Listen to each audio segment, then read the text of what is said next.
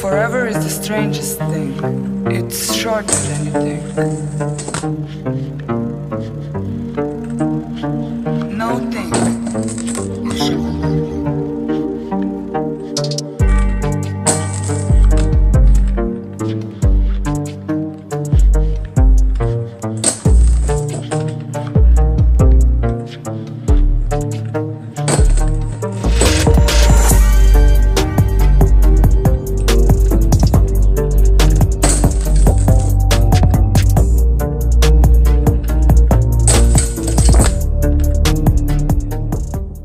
What's up, everybody? It's Nate, your vintage roller. Um, sorry for the short video today.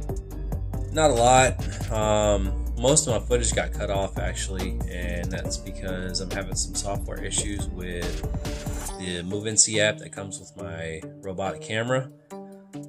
I reached out to the developer recently and see to see if they could fix it, but they haven't responded back. Um, not sure if they will or not, but it is what it is. Uh, it was a good session though. Uh, I had a lot of fun, focused more on fundamentals, and it was really nice to skate those USC teams again.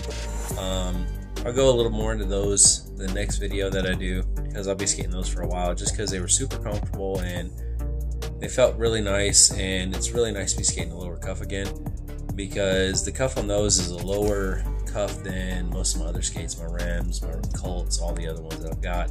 And it makes me focus more on my body position than it does anything else. So it helped me focus my mentality on skating and movement instead of tricks. And I think that's where I need to get back to is because I need to get my body back in a position to where I'm more comfortable on my skates and take care of things a little bit better. It's never more But you know, that's just the way it goes with rollerblading. Sometimes you've got good days, some days you got bad days, some days are off days, and it's just an overall aesthetic of how can you progress yourself.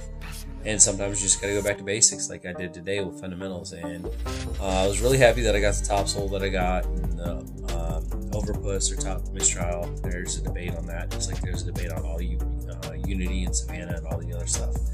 But um, it's nice just to be skating again and getting back into it. So hopefully this content's not too fast or too boring for you.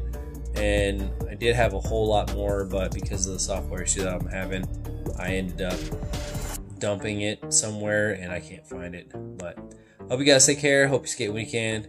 I hope you skate how you can. And as always, y'all, peace, love, and rollerblades. I'm out.